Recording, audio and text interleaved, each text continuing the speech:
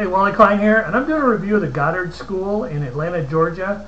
And I was looking at the reviews online, and they're they're really positive. Um, people love the school. It's one of their premier centers, best school ever. Uh, so some of these some of these comments, love, love, love.